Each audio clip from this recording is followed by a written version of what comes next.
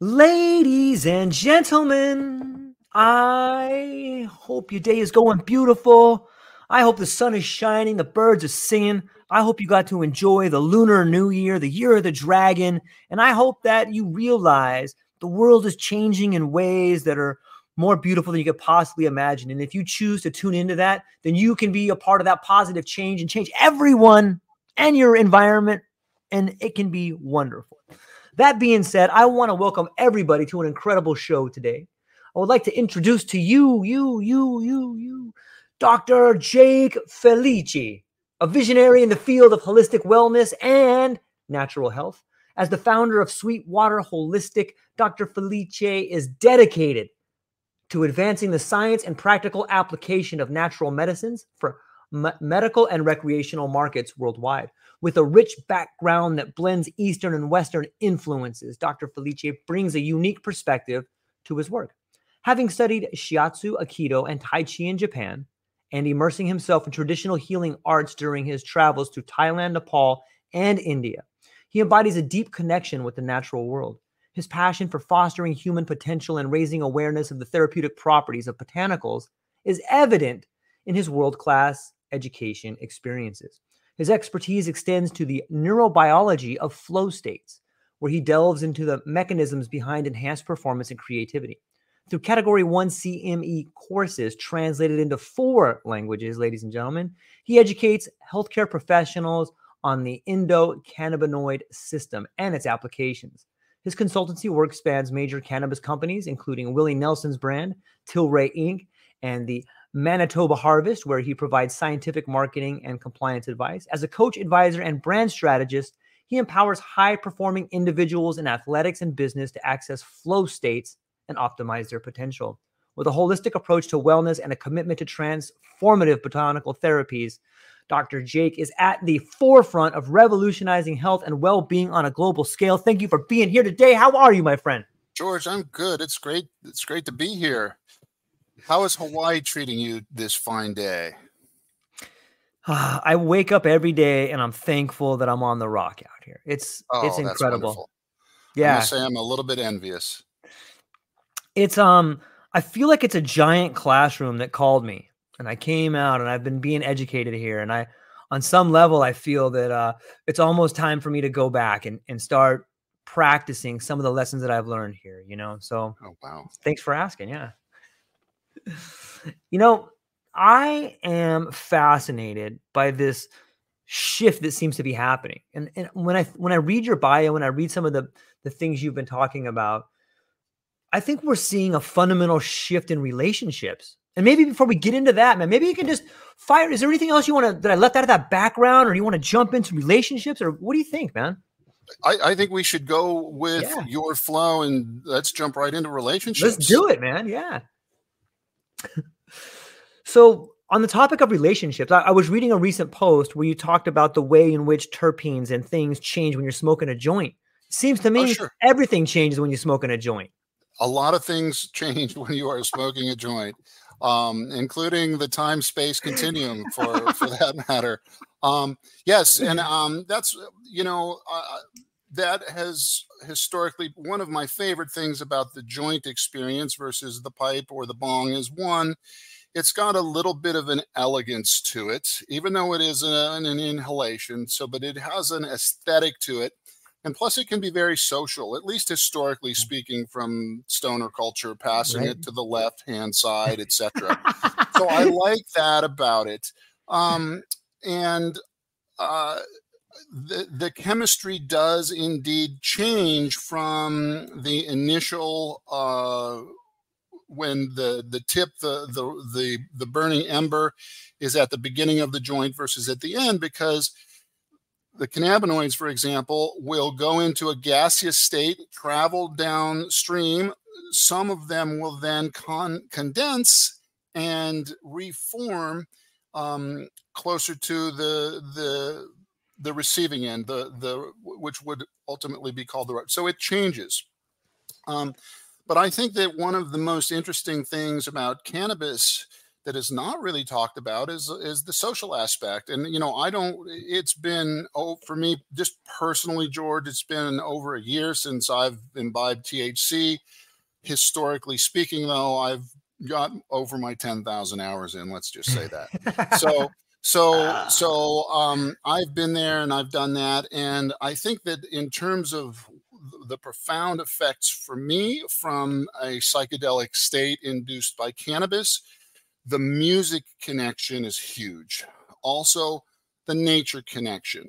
Um, I uh, you I don't know how often how often do you get a chance to get into the ocean living where you are? I try to go I try to go weekly. Doesn't I don't always make it right there, but yeah, there's something to be said about so, submersing yourself in nature. Historically for me that and and i think that part of what happens for me in nature um, whether that be in the forest or uh, in the ocean um, because i i have i have been a long time dedicated surfer since my early 40s i didn't start as a young kid. Um, but that to kind of tie it into the um, uh, the music piece is the auditory experience. And a lot of the times when we think of psychedelics, we're thinking of a visual experience. But uh, the first time I ever tried cannabis that worked for me, I tried it a couple times and it never worked. And then all I was, but I was in the forest and it was in the summertime and it was in Western Pennsylvania and the cicadas, which are these large uh, singing insects were all around and I had this auditory experience and it was quite impactful for me. Also, I think when I am in a natural state, uh, at least historically speaking, um, the auditory experience is different. So I think neurologically something different is happening. And in terms of human human connection, when we sing together, or when we go to a concert together. It can be this kind of a bonding experience. And for me, um, uh, and I'm not a good surfer, but I love, love, love to surf. When I'm when I'm on a wave, sometimes you don't have to look to see where that division of the white water and the green water are. Sometimes you can just listen and you can hear the ocean. And um, just this so this soundscape and this connection with nature and i'll tell one more story and then kick it back to you. I went i had the pleasure of getting to the grand canyon this summer. Yeah. And i was uh uh i was on a bicycle trail on I, i'm pretty sure it was the south rim and it was getting dark and i was very happy that it was getting dark because many of the the tourists were leaving to go on their separate ways and i was trying to get out, out of and away from people and it the the moon was going to be very bright that night so i was very much looking forward to seeing the moonscape of the canyon and i found this beautiful spot right on the edge as the sun was going down and then the colors and then the moon came up. And i was a little disappointed with the visual aspects of the canyon in the moonlight because the colors just weren't as bright as in the daytime. But george hmm. the crickets were singing and they were singing. I was in this meadow right at the edge, and they were singing all around and behind me in a flat spot, but they were also singing down into the canyon. And so I could close my eyes and hear the scape of the the canyon. I could hear the I could hear that there was a great depression, and it was just an amazing, almost psychedelic experience with no substances imbibed through this auditory input. Man, it's beautiful, and I, I I think we share some similar passions, be it in the water or hiking, and I think it speaks volumes of the way in which there can be auditory hallucinations, or or when when you were telling the story about the canyon, I imagine on some level the sound affects what we see, maybe the vibrations out there, but like that's an interesting relationship between those two things, right? Absolutely. I think you're right because we know, especially from the auditory, uh, the the uh, cochlear branch of the eighth cranial nerve, which also uh, is part of the, that's the balance apparatus, the cochlear branch, but there's an auditory branch as well. So this same nerve is running your balance through the ear as well as your hearing through the ear. And when we get into peak states, and it can be something that's extremely pleasant, or it can be something that even is extremely yeah. scary, like a, a car accident, for example. And everything slows down and even it goes quiet. Okay. So I don't know if you've had that experience, but or if you're in an athletic situation, the Super Bowl was just yesterday. Sometimes, you know, the the crowd noise goes silent. There is a down regulation of a certain part of the nervous system so that we can pay more attention. That auditory piece comes down and we enter this state of silence. Also, theta waves change and the sense of time changes. But so our nervous system can't handle, we have a certain bandwidth, just like our computers that we're talking here on. And so while some things, experiences will upregulate, others will downregulate. So if you are in an environment where there are visual cues with audio cues, the experience will be blended. And I'm not saying one is better or one is worse, but certainly it will be different. And in the psychedelic uh, arena, set and setting is important.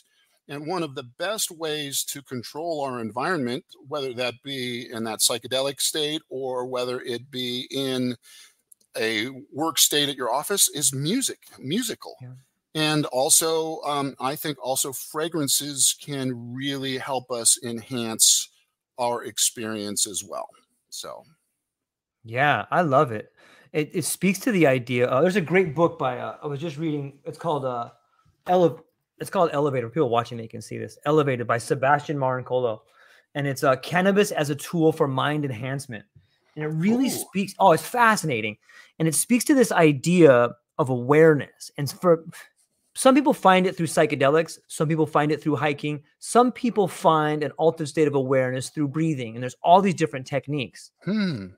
And I think with the flow state, and maybe I think you're on the forefront of so much of these new discoveries that are happening. That's one of the reasons why I'm so excited to talk to you.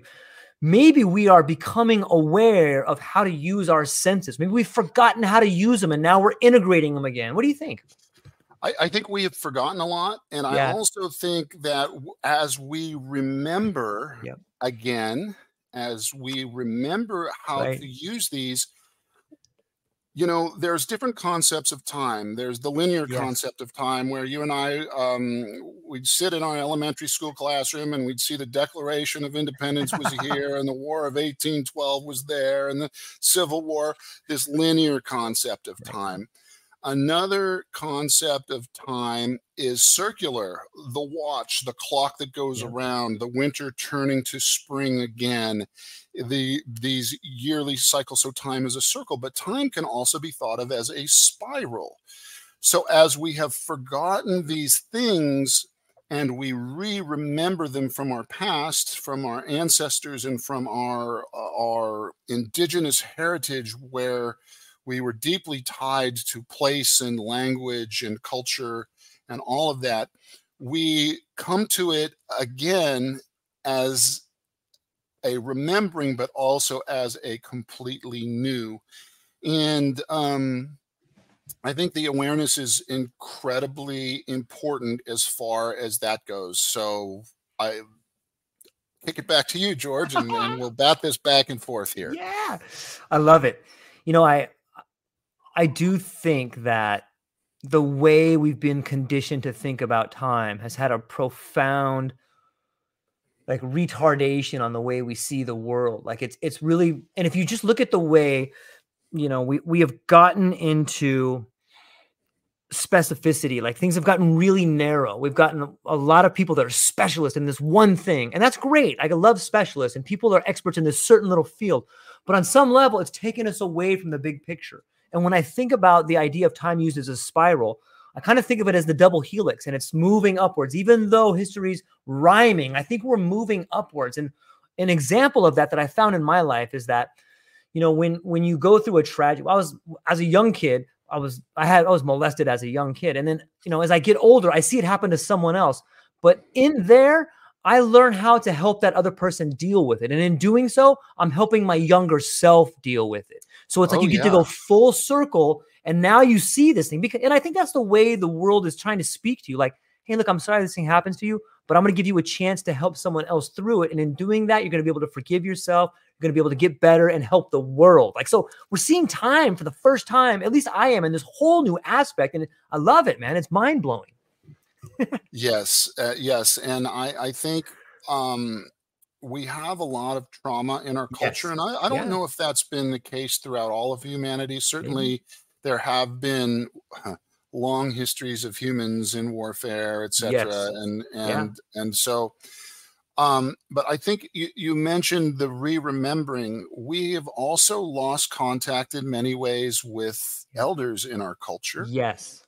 And as we get older and see those experiences in younger ones, what we can share that can be very healing is our sense of our personal loss. It's our personal story. Yep. And if the audience is appropriate and it is received, there's a reflection back of that, oh, I am not alone and I know that I, maybe I can get through this. Um, so I, I think that that's an incredibly important uh, feature. And um, I think we have to be aware of our trauma. I think part of the reason for so so many addictions in our culture Mhm. is because we're not always in touch with our trauma. It kind of gets sublimated, goes into shadow, and it will kind of want to erupt in various circumstances. And Yeah. we want to keep it down, want to keep that anxiety down or keep that sense of ill at ease down. And substance abuse can do that temporarily, but it does so at the at the cost of a certain lack of awareness of the outer uh, world or outer environment. So I think that that the sharing of a story as an elder allows the younger person to have a new or an enhanced or changed awareness. I love it. It's really well said. And when I think of elders, I think of rites of passage and rituals, which seem to be absent a lot, uh, somewhat in our societies today. And, and if you just think about that, there's a great, there's a lot of great people that have written on this. And I always quote Mircea Eliade, and he talks about this idea of the terror before the sacred. But when I think about when I think about rituals or rites of passage, to, I want everyone to do a little mind experiment with me. So close your eyes and think about sitting maybe in out in nature somewhere in a forest, and you're watching this rite of passage from a, a young man becoming a man, a boy becoming a man. So there's young kids there. there- There's kids under 10 that are watching maybe their brother or their their mentor passing through this stage, and then they they see them with their father and they see them with their grandfather and they're going off to hunt. But The little kid gets to see their brother moving in this direction. The gentleman, the young boy that's becoming a man, he gets to see the transition. He gets to be part of that transition. And then the father and the grandfather, they get to see the young man becoming the man and they remember the times that they did it.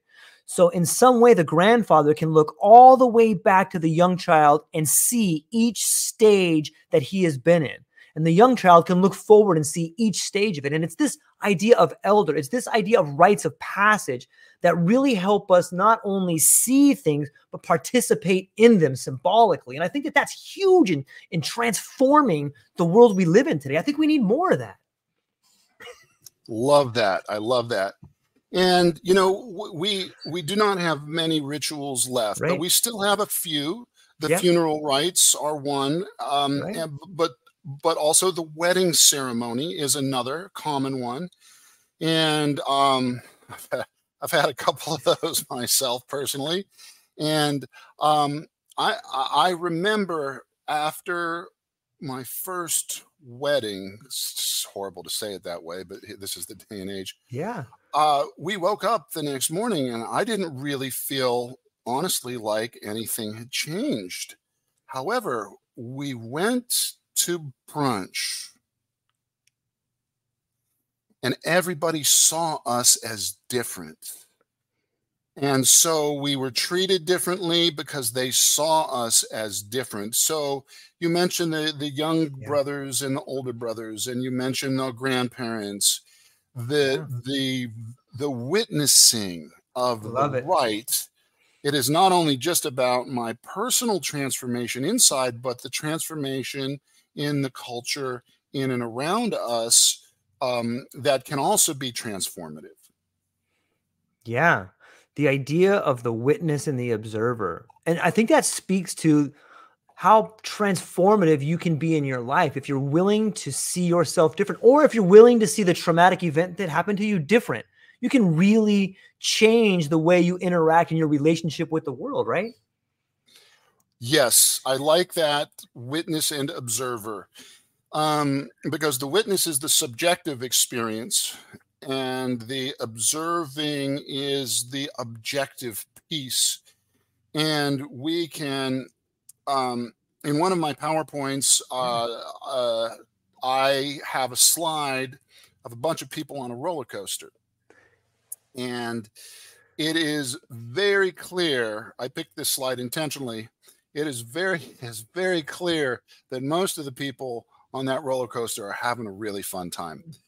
but there is one or two that are not having a good time. They're too scared. So the objective experience, these people are in the exact same place at the exact time but the subjective experience is different and i i know i no longer enjoy those rides. So one time i went with my nephews and i was like i can't wait for this thing to be over. That was me. It didn't used to be me. Um, but that subjective and you are absolutely right. We can, in many ways, narrate our own stories, and we may not be able to change the objective features of the past, but we are not done with the final chapter, so we can always rewrite that story. Yeah, that's an effective tool. Is that something that you that you when you work with people, be them athletes or be it people that are trying to find a better way in their own life? Is is that something you work with, like the subjective? You, you have to. You have to. If there's if there's blockages, there has to be an integration of the psychic block, whether mm. it's um, a certain pressure situation that they have had athletic athletics are easy to talk about that they've had a breakdown in that particular area or that particular event or against that particular team or against a certain particular player where there's competition. There needs to be some type of an integration um, part of which involves the story. You can try to change the story and it may have some effects or it may not have any effects but if the experience and the story are changed together that can resonate. And so and so how does the neurology process it is very interesting for me.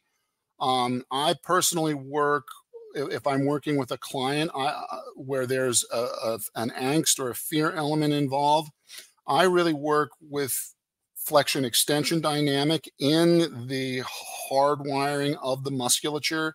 Uh, how to explain that to the audience. Um, flexion experiences are usually fear based. Think of full fetal position, where that's the when, when you're most terrified in curling up into a little ball. Um, or you can tell if somebody's you know hunched over and is just afraid versus extension. What do people do in American football when a touchdown is scored? It's an extension event. In um, longboard surfing, which I'm just a longboarder, an old dude on a board anymore these days, but the soul arch where you just you're looking up at the sky while you're feeling the ocean under your feet in this extension based ecstasy. So extension and flexion. And when there is negative angst, there is always an associated um, tendency for flexor muscles to be depolarized technically. Now, here's a poker tip for everybody.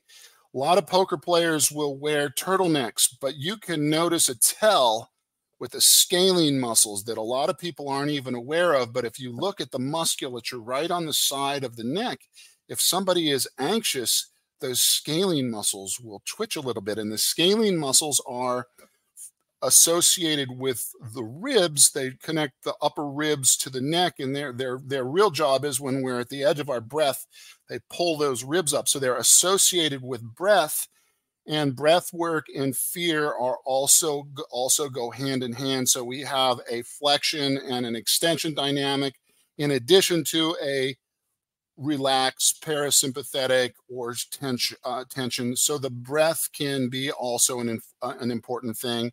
Um, uh, animals, you'll see uh, dogs shake it off. They're shaking their nerve. They're shaking their uh, cats will sometimes they'll groom themselves. Or if you have a kitty at home and it was a bad kitty and you tell that there was a bad kitty, it might go to its bowl and eat a little food to help kind of. Um, I think with humans, walking is an excellent way to work through some of these neuromuscular components of anxiety um, so all of this can be important, but it really is how how to identify particular problems with the particular individuals, and then work with them through their experience of their nervous system.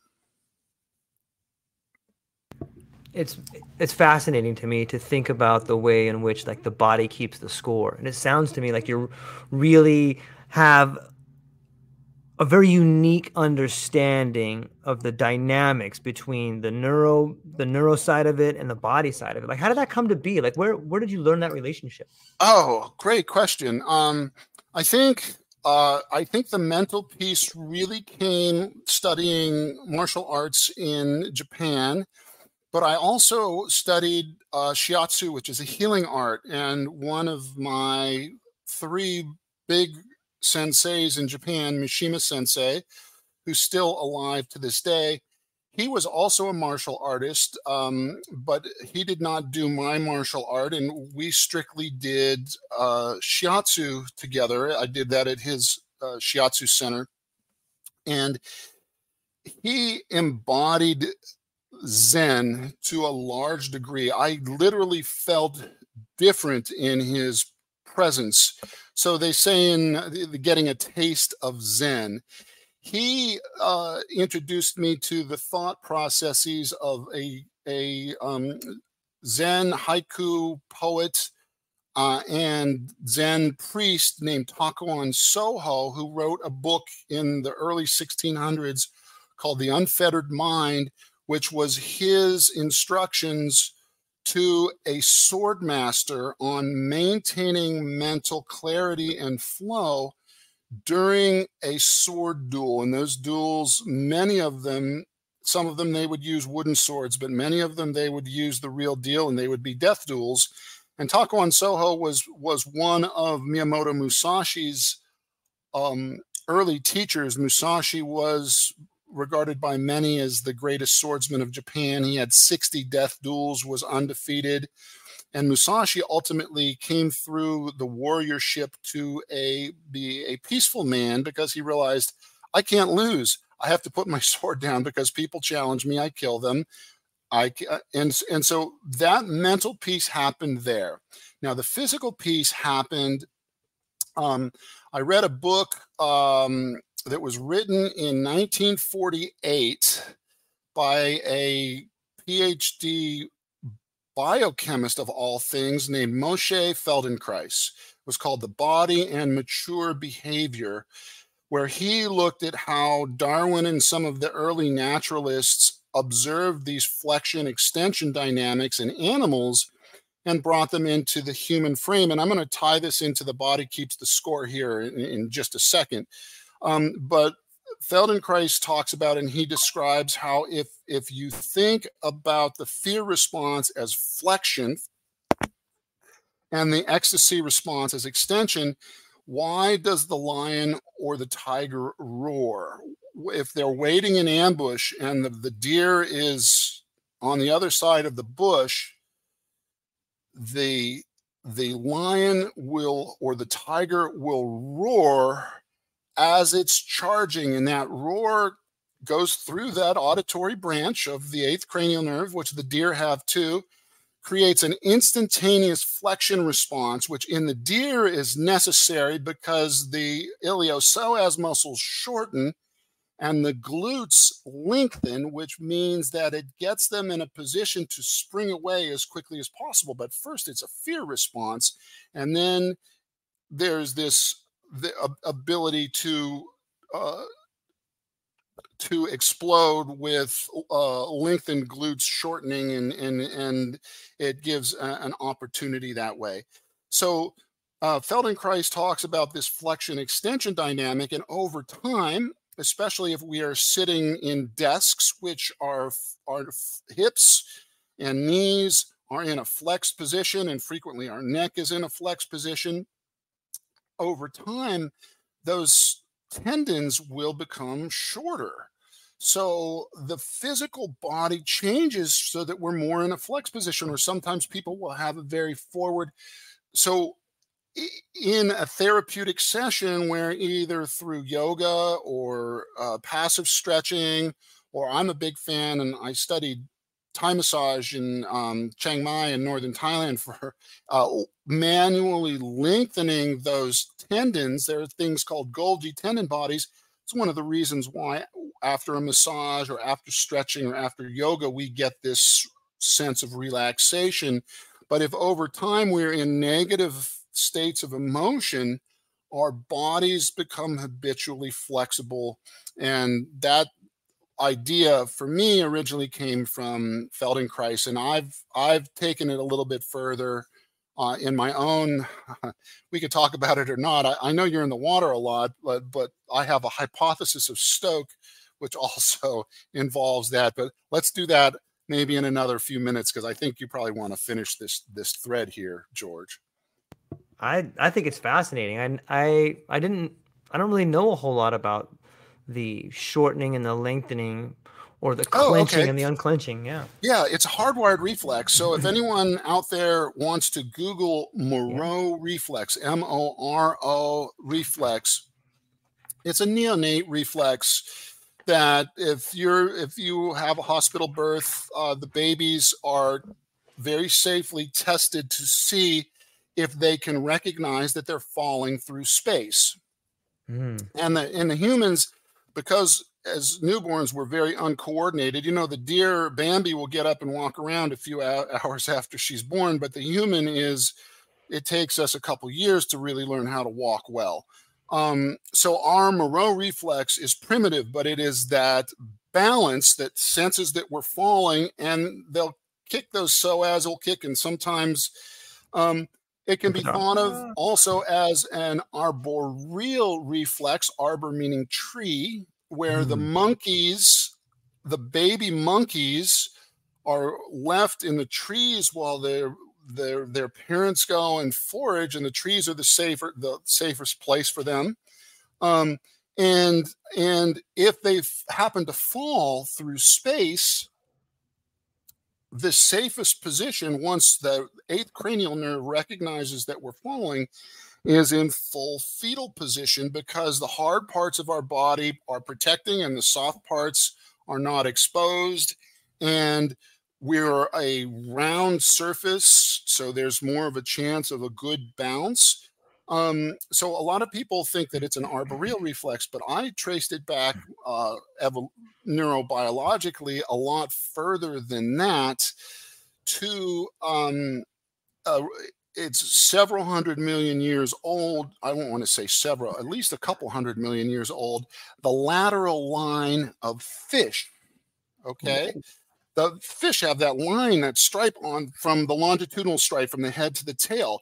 That is a branch of the eighth cranial nerve. That and what happens when you're in a school of fish and the big predator comes up and you sense that pressure wave? The whole school will.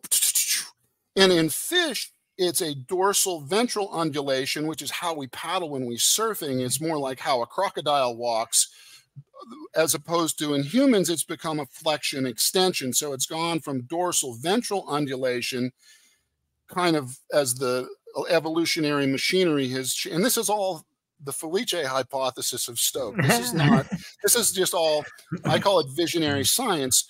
Um, but the lateral line of fish is involved in rapid fear response. It has become in humans the auditory response, which when the tiger roars also does that. And we also know through Moro reflex and through tons of naturalistic observation this flexion extension dynamic.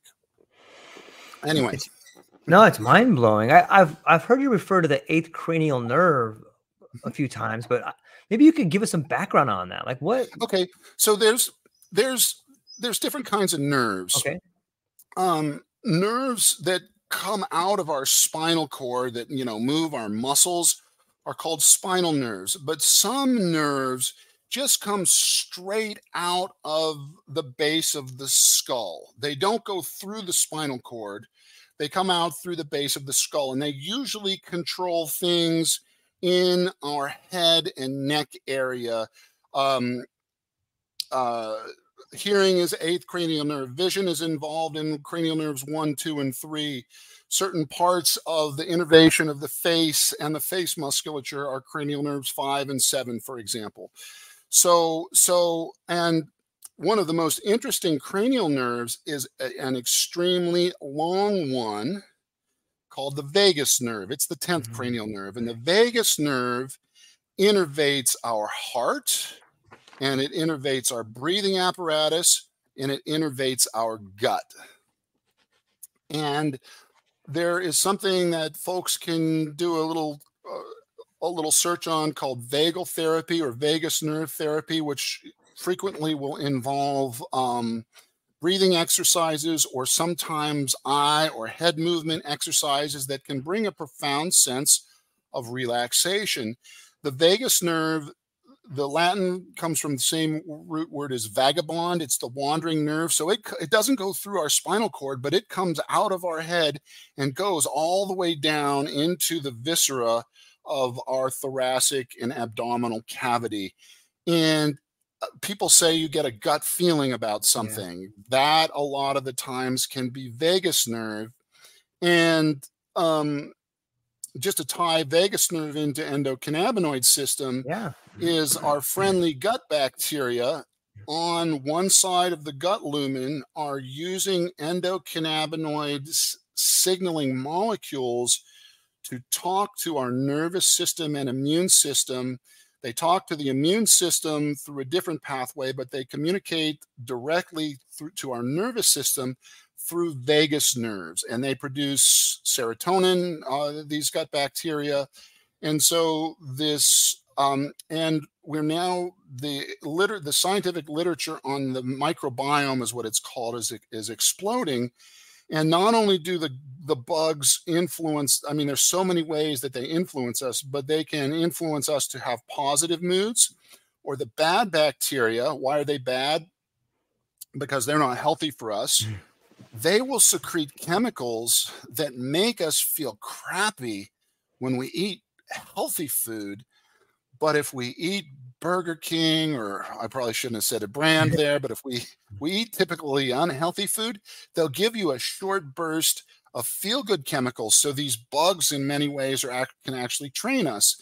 So there's this whole continuum of inner and outer experience that is very uh, important and can be very contributory to our inner mental states and um, to no end, I'm fascinated by that. Yeah, it is fascinating. It may it, it, it brings up some ideas about the endocannabinoid system that I've been thinking about, and I'm curious to get your thoughts on. It seems to me like the more we begin to learn about this system, the more we begin to learn about the relationships to the substances that stimulate that system you know, and it's it's new, it's fresh, and maybe maybe that's what gives us these insights or like this this flash of like, oh, this is happening over here. What do you think? Oh, 100%. I mean, and in this way, we we spoke of ancestors. Uh, yeah. in, in, this way, in a very non-anthropomorphic sense, to use a big word, plants can be our teachers. Yes. Uh, if you look at willow, for example, willow makes um, salicylates, which are aspirin-like chemicals and aspirin was derived from willow bark. Um, and when they wanted to discover how it worked, they found this whole enzyme system called the cyclooxygenase system because we wanted to know how willow worked. So willow taught us about this whole inflammatory cascade uh, that can be influenced by plants. And this is where our NSAID class of drugs came from, for example. Now, cannabis, cannabis has taught us about the endocannabinoid system. And um, I believe it was in the early 90s, uh, Israeli researchers wanted to figure out what receptor system it ran on. And there are, depending on um, who you talk to, two or three major uh, cannabinoid receptors, but it's the most dense receptor system in the human body. Uh, uh, more neural receptors dedicated to the endocannabinoid system than any other receptor system. And, and biology is very frugal. So we don't make these molecules just because we like them. We make them because they're useful and they have survival advantage. And part of what the endocannabinoid system does, in, in the most general term, is it enhances cellular communication. So that's why it works through so many organ systems, is because they all have cannabinoid receptors, which will change and be different in a healthy state versus in a diseased state. Um, and what I love about what I hate about, I don't hate it about the endocannabinoid system but what I I wish it weren't so is that I think that it has a marketing problem. Mm. I think they need to I think they need to hire a PR firm because the fact that the word cannabis is used in this system, that's how we discovered it. Um, but we don't call the cyclooxygenase pathway the willow pathway. Um, and and more than just cannabis influences this system. Uh, exercise positively enhances this system. Adequate rest enhances the system.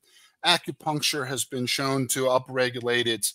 Very important essential fatty acids modulate it. Probiotics modulate it. There's even a, a study of singing in women only that enhances this system. And think of how good I know how good I feel when I'm singing in the car yeah. or when I'm singing in the shower. I may not sound good to you, but I sound good to me and it makes me feel good and it makes me feel connected. And it's kind of this access to a flow state. So, what I love most about the endocannabinoid system for me personally is, is it has, has shown me this massive interconnectivity not only of the physical physiology inside my skin, but also my relationship to my environment, including the food that I eat and the relationships that I have both with other humans um, and with nature for that matter. I love it. it. You know, I, I wrote down cell communication because I I'm a huge fan of the plants as teachers or just nature itself as a teacher. I think that you know, a battered coastline can probably teach you more than, you know, a year of a particular class, just depending on how well you observe the environment around you. And when I think of cell communication, you know, I think of the way the plants talk to us. And some people go, plants can't talk to you. That's ridiculous. Well, not in English or in Spanish or in Portuguese, they can't, but they can definitely speak to you by the way they grow or the things that are eating them or the environment they're around. Like if you just take time to, and usually it happens in a heightened state of awareness, be it through cannabis or psychedelics or breathing. But if you take time and you just sit in nature, I honestly believe that the the the world is speaking to you uh, in a different kind of language, in a harmonious language, in a language you can oh, see. Yeah. Right? Oh yeah, Oh yeah. Okay. Would you mind terribly? I've I've been riffing a lot here. Would you mind if I riff a little bit on plant talk? Man, I would love okay. to. Please. So it's not anthropomorphic, nor is it of the same time scale that we have. But we're okay. going to use some concrete examples, and I, yeah. then I'm going to even tie it into. We'll, we'll see how we'll see how far we get with this. Okay. Yeah. We mentioned willow. Willow makes salicylates, which are aspirin-like compounds. Why in the world does willow make this? Lots of other plants do, but willow really makes a lot of it. Just like there's eight or nine other plants that make cannabinoids, but cannabis makes a lot of it. Or uh, other plants um, like lobelia will make a nicotine-like molecule, but tobacco makes a lot of nicotine, right? So, so, so, um, with willow, uh, have you ever smelled the smell of cut grass? Yeah, of course. Of course you have. Of course you have. It smells pretty good, doesn't it? Yeah. But with plants, that is a danger signal for them. They are getting ripped and shredded and they're horrified and they're releasing this chemical, which actually happens to smell good for us. Now, um, willow, if if it is crushed or broken, it makes salicylates to help heal itself. Those salicylates it will use to decrease inflammation in its own tissues. When we take willow bark or aspirin or one of its derivatives like ibuprofen, which is just a synthetic, um, it decreases our inflammation. Now, if you take those salicylates and you spray them on cannabis leaves while cannabis leaves are growing, guess what happens? The cannabis plant senses that as an alarm signal and it creates more terpenes, which are a kind of a molecule that the cannabis plants make in addition to cannabinoids, and it makes more cannabinoids. So there is this communication between willow and cannabis, or between willow and our body, that creates physiologic changes because these molecules that plants make are designed by evolution to trigger physiologic changes. Now, all species of willow, everywhere you go in the world, are used to treat pain. Every culture where it grows uses it. And the same is true for cannabis. There's a Persian word for cannabis. There's a Hebrew word for cannabis. There's a Sanskrit word for cannabis. There's a Chinese word for cannabis.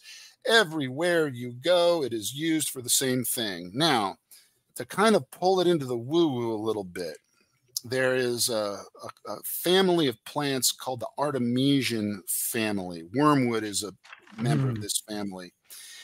And just like everywhere cannabis is grown, it's used to treat pain, or everywhere that willow grows, it's used to treat pain. Everywhere Artemisia grows, it is used to ward off evil spirits. Isn't that interesting? That kind of blows my mind a little yeah. bit that a class of plant that grows everywhere, how in the world did that happen? And I'm not saying that it's true, and I'm not saying that I believe in evil spirits, but that everywhere you go, it is used to ward off evil spirits. Now, the indigenous cultures have super deep insights into um, yeah. pharmacology of plants without using chemical means. And I'll use one more example, and that's probably a lot of your listeners because I think you do a little bit of psychedelic stuff. I certainly hope you do because I've been talking about it so much. But ayahuasca. Yeah. Ayahuasca is two combination of two plants. But not only do the two plants have to be combined, which was somehow intuited because they live in completely different parts of the jungle or the forest, but one of them, if taken in an oral route, our, our body has this enzyme uh, called MAO, and if we digest it, if we digest it, it just breaks the DMT right down in your gut. But if if there is an inhibition of that MAO, you can get this enhanced psychedelic effect. And in order for the traditional cultures to have come up with this, they had to intuit the chemical process to put this plant through to actually chemically change it so that it properly goes through the gut so the DMT has its activity. So I'm not saying this to, I'm just saying this as a point of curiosity and points of intelligence that aren't in cultures that don't necessarily follow our very well established objective scientific definitive paradigm which um, is so powerful Um, but there are these other subjective ways of maybe knowing that we at least have the potential to uh, access as our birthright as humans. Yeah, it's really well said. I it it reminds me of uh, there's a book by Jeremy Narby, and it tells the story about these ethnobotanists that go to South America and they they go way out into the middle of into the middle of the the Amazon and they're they're sitting with this tribe and they're trying to learn, but the tribe is skeptical of them and they're like, yeah, you guys just burn all our stuff. And so they the the some of the ethnobotanists were like, yeah, what are you guys using for medicine? And and the the tribes people were able to kind of weed out all the people that weren't serious and everybody left except I think Jeremy Narby. And he he stayed with them for like a month. And finally after a month they they started talking to him and they're like, you know, some of your colleagues asked us how we learn about these plants. And, you know, it's because the plants talk to us. And you're the only one here and didn't laugh at us when we started trying to tell people about it. And I want to show you. And so they give in the book, he gives this example of they go way out and they're, they, they the, one of the tribesmen shows him this incredible snake. Goes, see the snake? The snake is the most poisonous snake in this particular part right here. And one bite and that snake will kill you. He says, I want you to look at the snake. So he looks at the snake and he points out this white diamond on the back of this green snake. And he goes, Now look at the plant right next to that snake. And he, he shows him the leaf is like the same ovate leaf, is the same size and the same shape as the snake's head. And it has the same marking on that leaf. And he goes, That is the plant telling us that it's the antidote for that snake bite. I mean, I get goosebumps when I think about that because like nature, it just it just goes to this idea that nature is constantly trying to communicate to us. And we are in a constant relationship with it. But we've been so closed off and maybe out of fear we've been closed off. But you know, it's it's the answers seem to be right there begging us to pay attention to them on some level. Fascinating, George. I love that. And thank you for sharing that. That's super important. Um, many, many, many cultures will say that that's how they learn about the plants yeah. is that the plants talk to them or that they see them in dreams um, and you mentioned the the snake and the plant um, a similar thing will happen um, throughout the plant kingdom one example is poison ivy mm. which uh, I had a terrible experience with that as a kid because I didn't know what it was, and it happened two summers in a row, and and, and then I learned what it looked like, you know. Mm-hmm. Um, so, but but poison ivy will create these terribly itchy, red, blistery lesions um, because the plant is using the plant nicotine, for example. A half a pound of nicotine will kill a horse. Nicotine is an anti-herbivory compound. It's an alkaloid that the plant makes that says, I'm not going to swear in your podcast, but it says, stay the F away and do not eat me, mofo. Hmm. right? So, so poison ivy grows in this particular climate and it lives in fairly specific areas. Also, in that particular area, frequently another plant called milkweed will grow. And if you get poison ivy, you put the milkweed on, and it's very, very helpful, more helpful than calamine, mm. for example.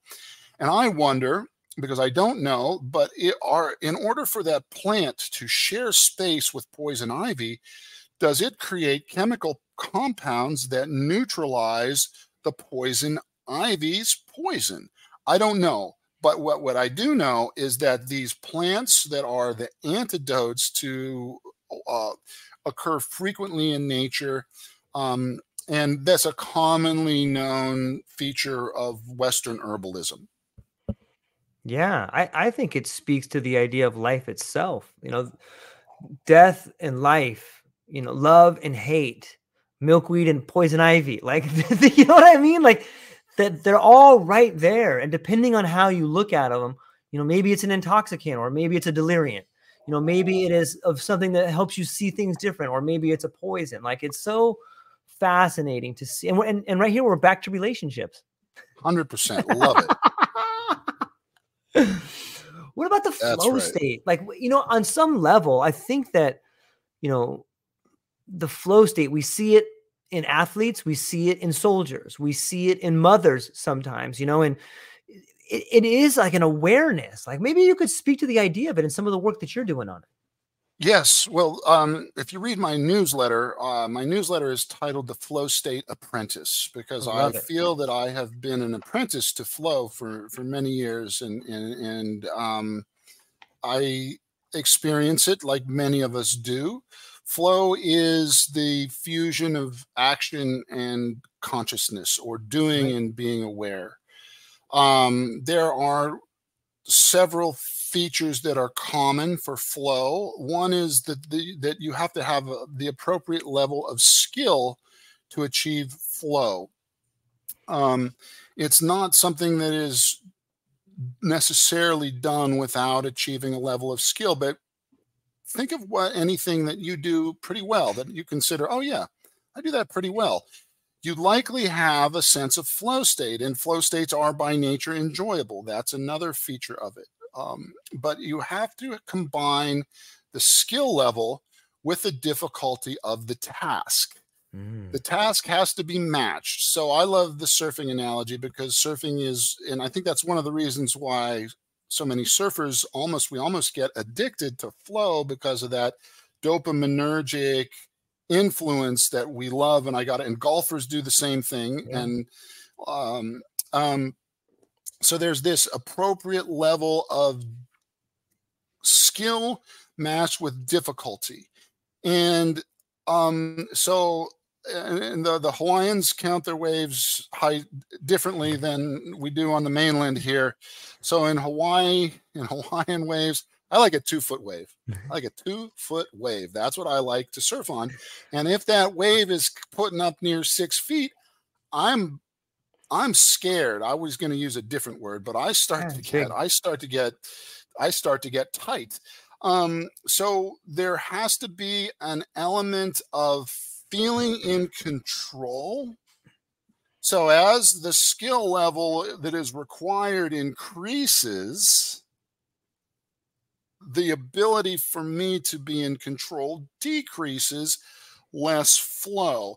So, and also one of the coolest things about flow is we have a decrease in self consciousness. Mm. I am no longer worried about what people are thinking of me because it's not that part of the brain we talked about um, with eighth cranial nerve. How, the, in order for the one part to come up, the hearing has to come down, so that that that we have this self-referential neural network of how I mm-hmm. feel like I'm myself. It's called the default mode network.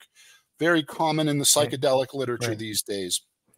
This default mode network is the necessity for consciousness increases. There's something called the locus coeruleus norepinephrine um, uh, pathway that allows us to focus. So there's a little bit of an adrenaline piece and maintain that sense of focus in something when we're in that right mix of skill and the task down regulates. We aren't so much thinking about ourselves, but we are having a lot of fun. And another piece that is really necessary is that the situation needs to be giving us quick feedback it's hmm. hard to be in flow state if I'm thinking about my five year business model. It's much easier to be in flow state when you have an instantaneous feedback.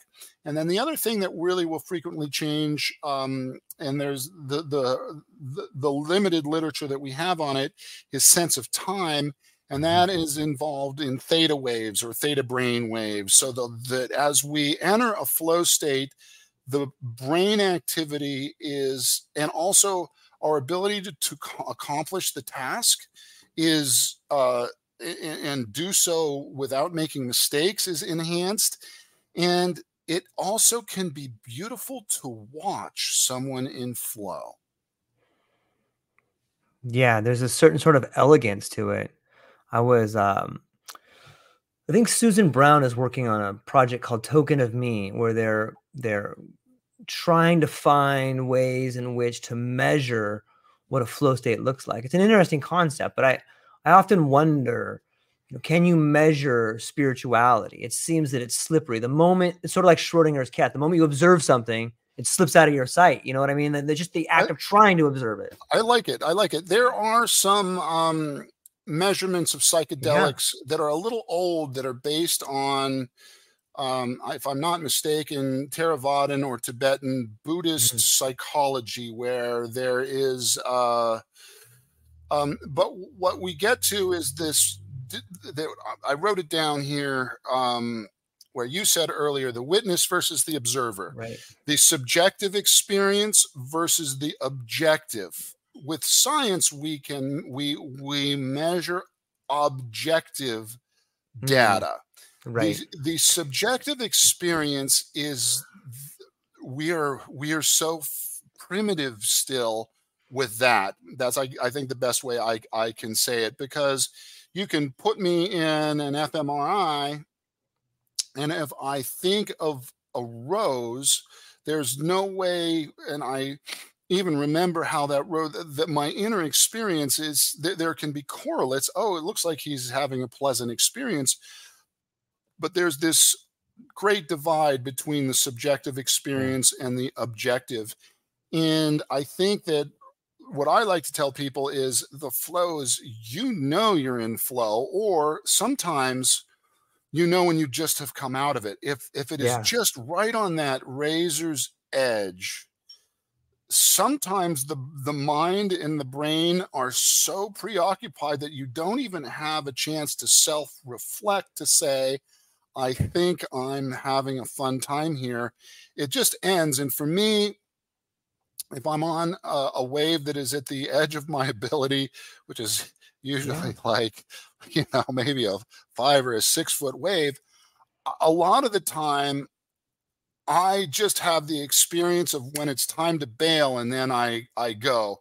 And of course i'm on it and i'm experiencing it but there's something for me personally that the memory feature is doesn't really is not really necessary. And then so afterwards you get this sense in your body that is so pleasurable and, and then i'm trying to remember how it was but i wasn't really forming memories when it happened. So so i think that um there is a the, the subjective and the objective kind of get into this unified state mm. and there's no necessarily me and something else there's just this experience and then when the neurologic structures recalibrate and the default mode, the, the situation is less critical and the default mode network comes up, all of a sudden, oh, I'm back. Does hmm. that resonate at all with you? Yeah, I, I think it speaks to the idea of harmony. And I think that different states of consciousness are trying to teach us things. And I think that the flow state is trying to teach us be here now. Like right now. Ah. yes yes. it makes sense, right? And and I, if we go back a little bit about the beginning part when you were talking about the relationship between skill and flow, you touched on the idea of the 10,000 hours previously in the earlier part of the conversation. And it's there is something that speaks to the idea of hard work and sacrifice that gets you to that flow state, right? Yeah. Or if you think of like a, a boxer, right? Yeah, yeah. Uh, and I, I, I, say specifically a boxer, but it could be any martial art, but just sure. a boxer came to mind. One of the things that boxers are really good at, George, is getting punched in the face. They're good at it. They roll with it. Yeah. It doesn't bother them. Whereas yeah. if I get punched in the face, it's a it's a big effing deal if I get yeah. hit, if I get hit in the head or yeah. if I you know you think about when you bump your head and you're like ah right. so so uh, the experience i i one of the things i love to do even though i'm not very good but i love to share the ocean experience with friends loved ones family members. I love taking people surfing who are beginners and i was with my good buddy aaron uh, abc you know who you are if you're listening. Hey buddy. We uh, we were surfing um, it was summer in washington at westport and um, I had taken him, I think it was our second time surfing, if I'm not mistaken. Anyway, I took him and I, we put him on a big 11 foot soft top, and he must have ridden about 20 waves and had a lot of fun because it was a big board. It's like standing up on an aircraft carrier, yeah. you know, it's very, um, so I believe this is this how the situation went down. The second time, he wanted a shorter board, and I was like, ah, you know, I don't think you want a shorter board. I think you had so much fun, but anyway, so I let him. You pick your board, man. It's your board. Let's go. So we were out, and it was maybe a four foot day, two foot Hawaiian. I was out with my buddy. I'm so relaxed. I'm thinking this is so peaceful. I'm having a wonderful time. Aaron's here. I hope he's going to get. And he said to me, I, we were like maybe five, six feet from each other. I said, "How you doing, buddy?" And he said, "I'm so scared. I'm so scared." Yeah. So we we had to go back in um, because if you're not having fun, you're done. So these ten thousand hours, part of what the ten thousand hours gets you is an experience of being in a situation so that you know the mm-hmm. terrain, mm-hmm. which 10,000 hours ago you might have been unable to access. But uh, because you are able to access it, and I think of, you know, another flow state, which is not physical, but chess. Mm. Those chess players, can play for like five, six hours without eating or drinking, and um, or even they have a headache and they're just locked yeah. in the game.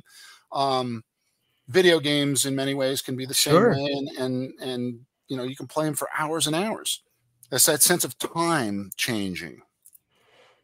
Yeah, I I think it parallels nice with the the 10,000 hours in environment can pertain not only to a physical environment, but also like a psychedelic environment or another state of oh, awareness. Oh, yeah. Right. And yeah. I, I think a lot of the times, you know, especially in the last cycle, we saw the tragedy of Art Linkletter's daughter jumping out a window, and you know all, all these things that were supposedly happened or that do happen, or people have really difficult reactions to different states of consciousness. But I think that may be the same thing as someone out surfing in waves that are too big for them. Like, you know, who am I to say who's who's what condition is right for who? But you should be familiar with the environment, or there's a really good chance you're going to get whacked. Like, you know, what do you think? I, I absolutely, and and if if you surf enough, you will wind up in trouble where you have to keep your mind calm and you have to yes. keep your mind cool. Yeah and it's very challenging. I remember one of the one of the early times that happened to me. I was by this big long jetty in Washington with a rip, and the the swell was coming in at an angle that was pushing me into the rocks, and the rip yeah. was pulling me out to sea. And I remember thinking, literally, I obviously had enough bandwidth. I remember thinking, now I know why the Greek gods considered Poseidon an angry man. Because it wasn't this feminine, beautiful right. lagoon with crystal clear water. It was an angry, powerful man. And I also remember thinking, this ocean I'm a nice person. This ocean doesn't care that I'm a nice guy.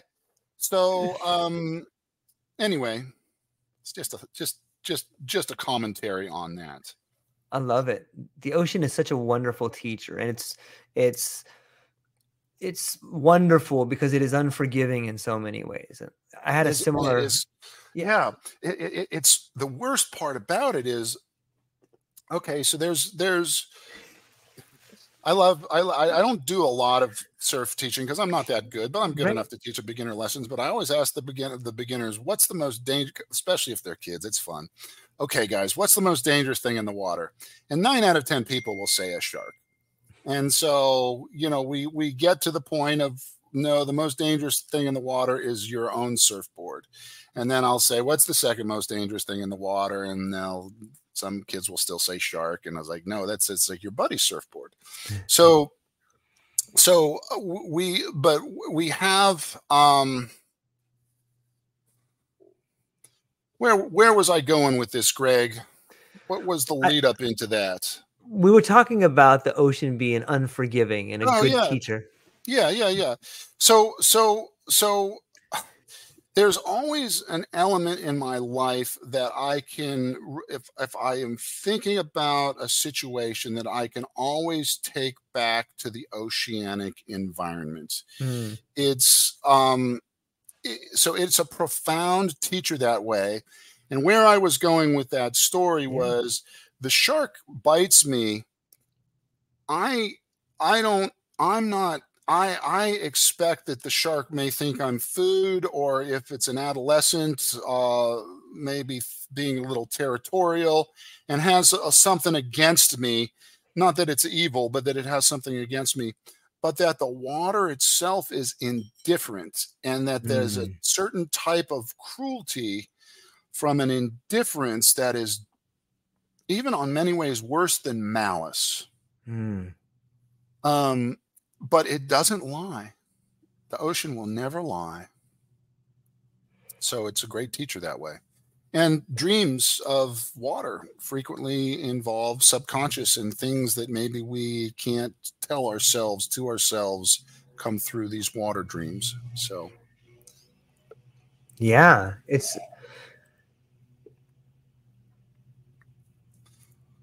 I think it speaks to our true nature. Like, you know, I, just the magnitude of the ocean is, is beautiful in so many ways. And when you're, whether you're surfing or you're snorkeling on it or in it, it seems to call to us to, to be part of it. You know, it's interesting. How, how I'm going to ask you a riddle that I don't expect you to know. okay. I just want to, how is the endocannabinoid system like the ocean? Wow. Let me think about it for a minute.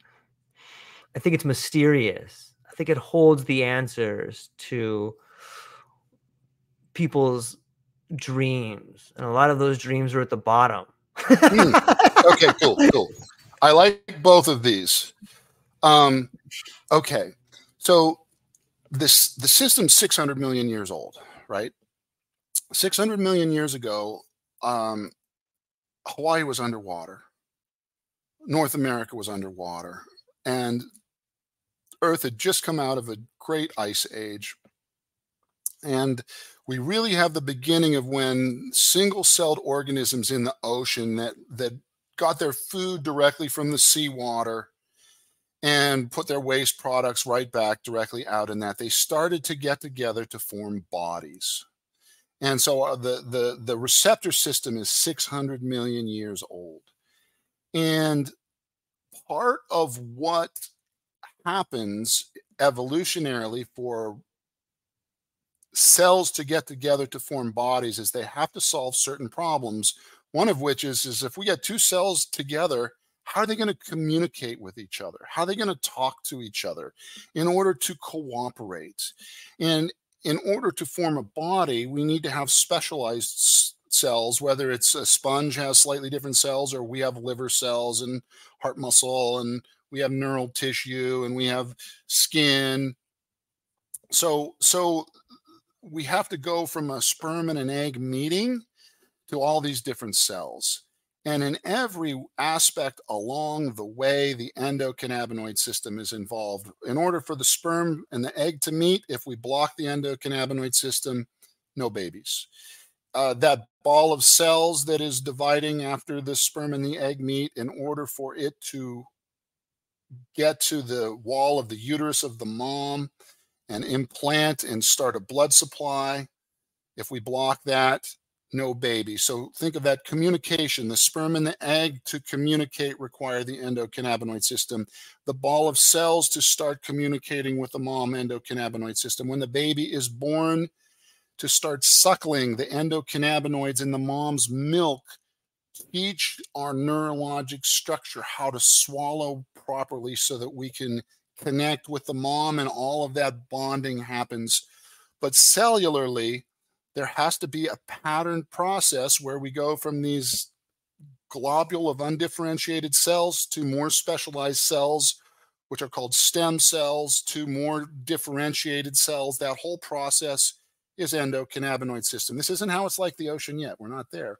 But also, all aspects of hunger and feeding. You got to feed my, I got to feed the cell of my pinky finger from my body. So the food has to, and the waste products have to go out. And also, if I cut my finger, the body needs to know how to detect that there's an injury and then how to mobilize the inflammatory response and how to start the healing cascade. Endocannabinoid system is involved in all of this. And it is a communication system between the extracellular water compartment of our body and the cells. One of the terms of this compartment is called plasma, which is in our blood. And why does our blood taste like seawater? Is because evolutionarily we have brought the ocean inside of us, and that seawater is still nurturing every cell in our body.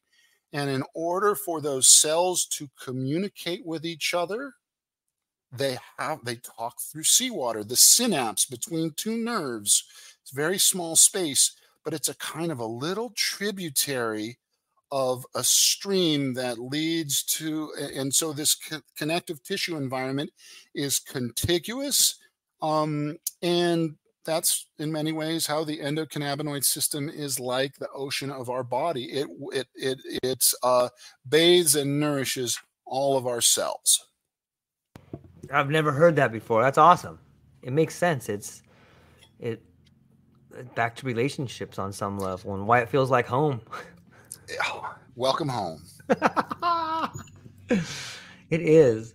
You know, oftentimes when I think about you know being in a flow state whether you're surfing or being in the ocean or playing chess or whatever you're doing, do you think there's like a an antithesis to the flow state and if so, what is that? Oh yeah, the the the uh, I think there's two. I think the antithesis to the flow state is is normally we think of as fight or flight, right? Um, what I'm going to do is I'm going to, you know, my uh, uh, I'm being attacked and the adrenaline circuits are activated and I'm going to swing hard, or I'm going to run away but that's not the antithesis to flow. I think that the, when you are so scared you can't move and you're frozen stiff, so mental and emotional inertia.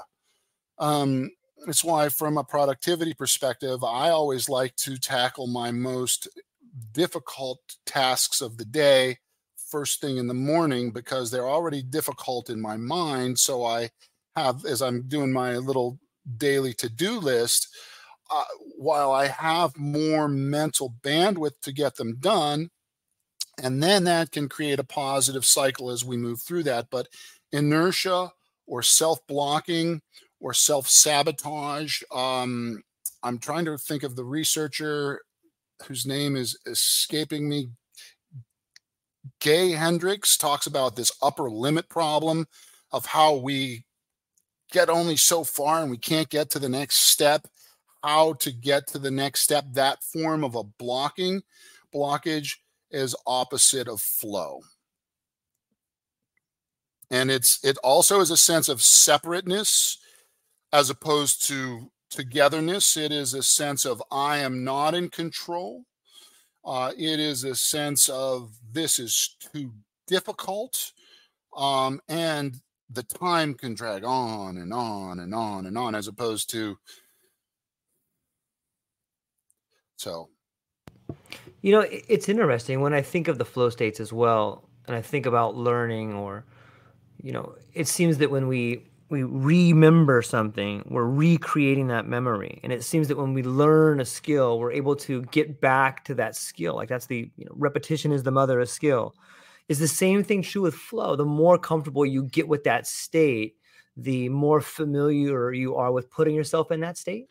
I, I think part of it is yes. I think part of it is yes, but it's also kind of like trying to go to sleep. You can't necessarily make yourself go to sleep, right? You just right. you have to create an environment. And also, as the skill level, as your skill level increases, the same task may not be as rewarding. It right. might become more of a tedious uh, aspect of it. Uh, but to be in a state where your skill level is increasing to meet the demands of the task, yes, I think that's appropriate and and and that sounds um yes. Yeah. What about flow as a group? You know, whether you look Oh, at some- yeah. like that's a Oh, pretty yeah. interesting concept, right? What do you know about that part? Flow as a group. Think of the jazz band. I'm not a good musician, um, but I play flute because I'm a terrible singer. And but but ironically, learning to play the flute has taught me to be a better singer because I can hear when I'm in versus when I'm out. And so when the music is the focus, you are tuning into a group activity and you are either in resonance and rhythm or out of resonance or out of rhythm. And I'm sorry about that. I, I don't want to look away to turn this off. But um, so so you're either in or out of rhythm Mm. and and part, there's a great book uh it's a little old but it's a good book on neurolo- on the neurologic aspects of of uh, of music activity called this is your brain on music. And playing music with other humans which can include singing or uh, um but the act of playing is one of the things that activates our nervous system the most. And so we are tuning into the group and i i haven't played as much in the past year or two as i probably should but i pick up my instrument just for a little bit every day just to play a scale or two to keep it in my nervous system but i remember the first time i was kind of riffing i just mostly play folk music because it's easy and i'm not good but that's what folk music is and but i was a little in over my head and there was a kind of a jazz riff going on and it was impromptu and i intuited the chord change. Uh, nobody told me about it because it wasn't planned. We were just all sitting in kind of jamming. And i i there was a point in time of should i hesitate or should i go with it? And i have to tell you i was probably smoking weed at the time and so I went with it. And at the exact same time, everybody played the same note and it just shifted. And I was like, wow, how did I do that? Because I had never done anything like that before. So that is an element of a group activity, group dancing. Sitting around, eating food, having a wonderful conversation at the dinner table or at lunch can be a flow activity. Sports can be flow activity. Participating in a sport where your son or your granddaughter is in an event and you can cheer from the sidelines and, you know, give support to them. That's part of being it. And we all get wrapped up in it. So um, I think yes, I think these these flow activities can be groups, and if you look uh, what traditional cultures generally teach us about psychedelics is a lot of the time it is a group experience from a traditional point of view. Yeah, it's amazing to see the contagious aspect of it. I don't know if that's the right word, but it seems that you know when you when you see someone in flow, a lot of the times people admire them or they want to be around them. And on some level, I think that they, you it's contagious. The same way in which you were able to intuit the next note in the band, so too do people know that the ball's coming to them for to slam it, or you know what I mean. It's like you can feel the rhythm being It passed is. on to you. and it's nonverbal. It's a nonverbal Yes. intelligence. Yes. So how do we talk to plants, or how do Yes, I plants think that that, that is a large part of it. Mhm. Greg, can I take just a couple moments and use the bathroom here real quickly, and I'll be right back because Yeah, I would love to continue a little bit. I'm Yeah. gonna just mute this for right now. Okay. Absolutely. Yeah, handle it. I'm going to talk about flow state. So, you know, I, I think that there's something to be said about understanding the things that you love and just sitting with them. I think that's a great way to begin to enter enter a flow state. Is like what is it that you love? And you start thinking maybe, oh, I love to serve or I love to spend time with my family or I love to read. Now think about how you feel when you're doing the things you love. That seems to me to be a pretty good one-two punch to make you receptive to a flow state. A lot of the times you'll find that when you begin thinking not only about the things that you love, but how you feel when you love those things, time tends to fade away. Time can either dilate or just be pushed into the background to the point where all you're doing is just being in the present moment. And I think that has a lot to do with the flow state is this idea of time. You know, have you ever been doing something where all of a sudden you just lost yourself and someone comes and interrupts you and it's like, dude, what are you doing? Like you were in this state, this this alternative state. And for me, I think psychedelics is a great gateway to understand the awareness that brings you into a flow state. Understanding the landscape, the psychedelic landscape for me is this awe, moment of awe. So I was just telling the, the people about one of the ways in which I find myself able to enter the flow state is this one two combination. The first is to think about what I love to do. And the second is how do I feel when I'm doing that thing that I love? And it seems to allow time to slip away and make me presentable to the flow state. I love that. Yes, uh, we have. I think one of the, and this is why I call myself an apprentice. One of yeah. the best ways for me to study flow is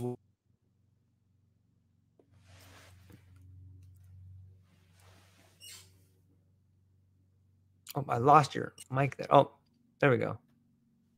What? Hang on. There we go. Now you're back. Okay, good. Okay. Um, so, so how much of that did you get? Because I know my mic cut out there.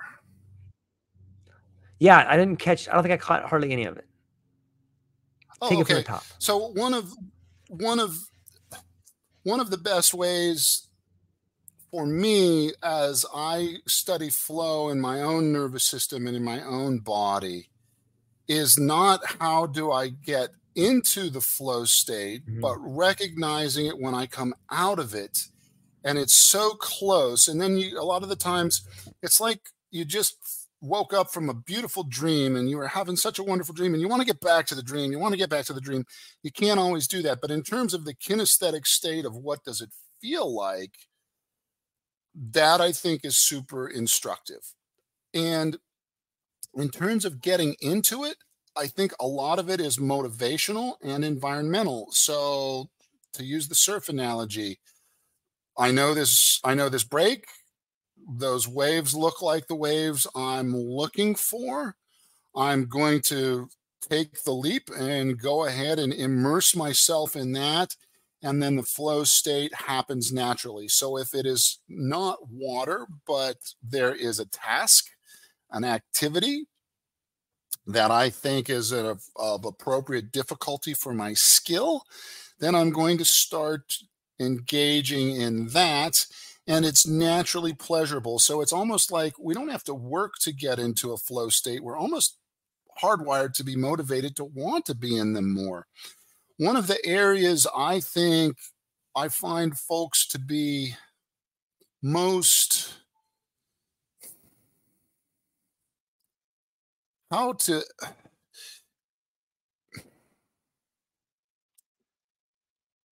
you have to you you you we're we're inherently motivated to put ourselves into the space but we have to make a conscious choice this is how I'll say it we'll make a conscious choice in our leisure activities am I going to do something that is passive in my leisure activity that requires no skill and just veg out on the couch for a while. That I think can be healing if it is needed, but making a conscious choice during leisure activities, hobbies, things that are active to put ourselves into a flow environment um, as opposed to just kick back and relax. Now, if it is at work, one of the things that I will tell people for work situations is the idea of combing through a task what do I mean by combing through is is is if it's a big project not thinking about the project as a whole but thinking about it as little pieces that you can go through and I'm going to just make a 20 minute pass at this and then doing that over and over again that can be flow inducing for a work uh, in, uh, task or something that we may have a little bit of dread about. Um, you know, I don't want to. I don't want to think about doing my taxes. Oh, it's triggered a bunch of people, didn't I? Don't want to do think about doing my taxes. Okay, well, I'm just gonna open up and just get my PDFs from my bank account and just drag them into my tax folder. And because I have anxiety about that, and because it's a low amount of skill, I can get into a flow state a little bit because I'm just I'm decreasing my anxiety, and I had to do it anyway, and it was painless. And then okay, on to the next step. So combing through uh, a challenging, difficult, or anxiety provoking task. Other ways to do it is by doing it with somebody who's better than you, who's already or going to know how to get you in the flow. Um, whether that be, you know, playing a sport activity with somebody who's a little bit better than you, who can encourage you uh, to to get into the flow, and also cheering others. One um, one thing I love to do in surfing is give I always tell people if I'm close enough what I like that they did about that ride, even if it was, you know, even if the end was inelegant, that was they did something beautiful or elegant. And for me, if I'm at my limit and I'm paddling into a wave and I'm a little scared, I will count my strokes to myself. So I, you know, I count my paddles because because over time that's taught me that okay, I'm getting ready to get into this and I feel that tail of the board lift, and I've just already moved myself because I I, I I'm able to count. So it's kind of like a combing process. Does that make sense?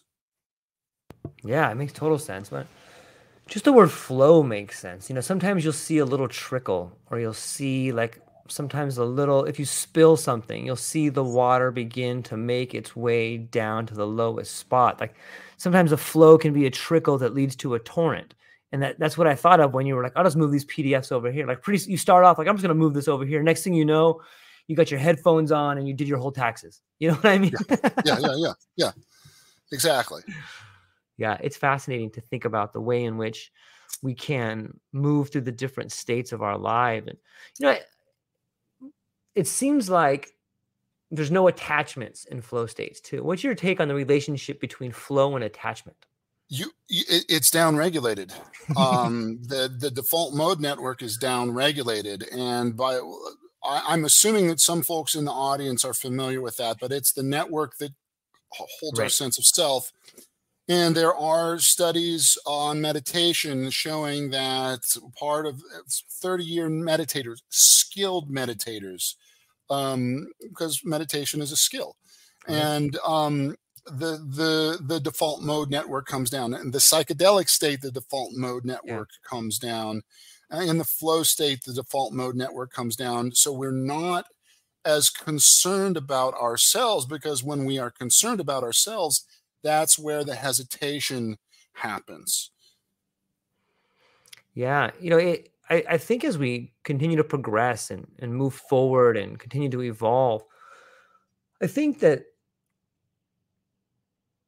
the flow state, as well as other states of awareness, is going to allow for profound learning curves. Like I think you can learn a lot in a flow state and may not oh, yeah. thoroughly know until you come out of it and you're like, oh, I just know how to do that now.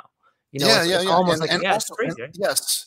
And you are correct. There are other states that are very important. So so one of the things that that I think of in flow state is this subject object disappears, yeah. but other experiences create relationship and connectivity sensations yeah. that I don't think that are also very pleasurable and can also be part of a psychedelic experience. Uh, which I've not encountered. Uh, I would, uh, I'm open to psychedelics, but I have not encountered beings or entities or what does Terence McKenna call them? Self-replicating machine elves. yeah. But that relatedness or connectivity versus the um, decrease of a sense of subject and object. So I, I think there are a lot of these non-verbal uh, states where, where, we're very stuck in the, the voice in our head a lot of the times, culturally speaking, um, which is why I think you mentioned group music, dance, yeah. singing. Um, and it's, I think, a shame that music education is not more important in, and I'm at least talking from my personal experience. The, I think in kindergarten, we all sing in kindergarten. It was a lot of fun. Yeah. But as we progressed through the years, um, it became less and less, uh, at least for me personally, less and less fun um, because I I had some poor or lesser quality music education as a kid, and I didn't get introduced to it. Um, but we, it's our birthright as humans to be able to have these experiences and share them together, as well as even if it's just communing with nature out out by ourselves.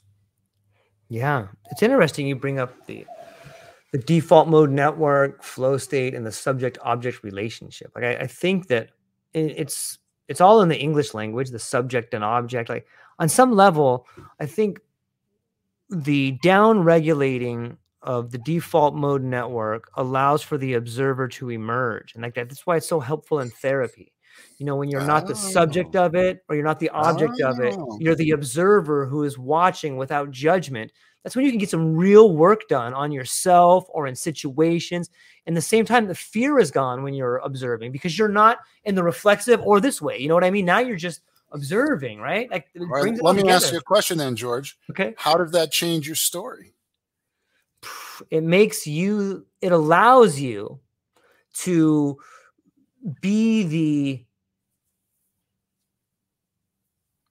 simultaneously the main character and the audience and it's oh, I yeah. that is brilliant. I have never heard that before. That's brilliant. Love it that. makes sense though, right? Because you can make real time changes in your life of the main character, but you can't do that if you're the subject or the object. But if you're both the audience and the main character, then you can get the author's attention. I think, you might have, I think you might have had an original thought there. I'm going to have to Google this later. That's brilliant. Love it. it okay, sense, so yeah. there we go. You were in flow. You called that out of the ether just like the plants talking to you. And then I called it out for you to reinforce that. And now you get to share that with your audience. But that is, I think, as I've never heard that before. So I'll consider that to be pretty close to an original idea. I like that. I love that. Thank you. Yeah, well, the pleasure is all mine. I, I felt like this whole conversation was in the flow state, man. I really appreciate it. And it's it's fun to get to experience a conversation with someone you admire for the first time and share it. Like, and I, I, I feel like we're very fortunate to to be in this state and, and, and be in this time alive and, and have all these things happening to us. And I hope more people are aware of them. But let me give you the let me send it back to you before before we um start landing the plane. Before we land the plane, is there is there anything else that we didn't talk about that you wanted to cover? I just wanted to get into a little flow with you, yeah. which obviously we weren't the whole time, which but but we were some of the time. Yeah, and that was fun. And I think that what we'll also notice as because uh, I'm can't wait to listen to this again is that there's a type of a thematic continuity to a totally unscripted conversation, and yeah. it it uh, and each of us come out of it differently and in a in a positive way. So I thank you for that. Man, I love it. Well, before I let you go, what where can people find you? What do you got coming up and what are you excited about? People can find me at sweetwaterholistic.com um, and or you can uh, Google my name or find me through LinkedIn. And uh, what's coming up? I I love to do, I want to do more podcasts. Um, I am doing a series of videos on flow states, which will be tuned, turned into a free course on my website. So stay tuned. I'm also finishing up a free course on homeostasis because I hear so many people in the cannabis world talking about benefits of cannabis and how it's a system that helps the endocannabinoid system helps homeostasis but i don't hear anybody talking about what in the world is it and how does it work and what are some of its mechanisms. Um, uh, I am absolutely fascinated and interested in working with uh, folks who are performance oriented. I did my undergraduate uh, degree at Penn State. Um, uh, it was a psych degree looking at peak performance. And uh, I looked at automobile assembly line mistakes uh, in the Japanese model versus the American manufacturing model. Now we have robots, so hmm. so that's one way to fix the problem. But but how were the Japanese at that time in the late 80s, in early mid late 80s, outperforming uh, American workers? And part of it was the team dynamic. Um, uh, uh, so for folks interested in touching base, um, uh, we could uh, there's a free discovery call you can click a, a, a link on my website there and uh, i'm just interested in bringing these ideas into the sphere of public because as you said in your podcast it is about to live a life that is worth living and i think also it is about time for us as humanity. We are at a tipping point. I don't want to call it a point of, of, crisis, but we are at a point where things could go many different ways. And just being a part of a vector for my vision of a whole, complete, and healthy world. I love it. Well, and the newsletter does that? What's the name of it? And does oh, it come out every month? The, the, Flow State Apprentice, um, and you can find that on LinkedIn. It's out every week on Thursday morning. Fantastic. Well, hang on briefly afterwards. I got a few things I wanted to chit chat with you about. But to everybody who was here today, want to say thank you for hanging out with us. Go down to the show notes, check out Dr. Jake, check out the newsletter, make a discovery call, learn about flow state, whether you're in a group or an individual, or if you want to go surfing in Washington, check him out. That's all we got, ladies and gentlemen. Have a beautiful day. Aloha. Aloha.